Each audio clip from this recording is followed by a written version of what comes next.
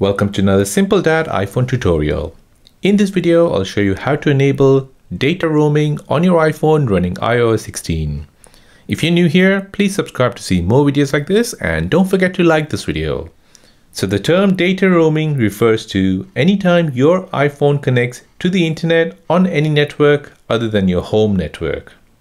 So for example, if you're going abroad, you need to enable data roaming in order for data to work in a different country. So let me show you how to enable data roaming on your iPhone running iOS 16. So first you want to go into settings. Next, you want to tap on mobile data. Next, you want to make sure mobile data is enabled. Then you want to tap on mobile data option. Here you want to look for data roaming, which is right here at the top.